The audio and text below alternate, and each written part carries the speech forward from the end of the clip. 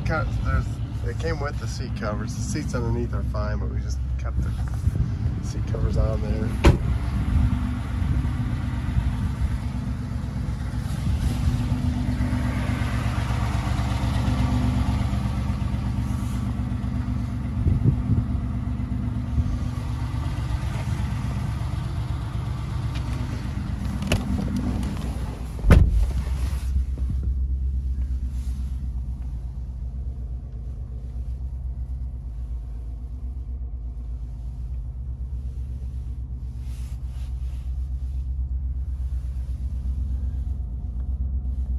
Well, fin- we still have to finish service up, so that check engine light will be off once we get finished with it.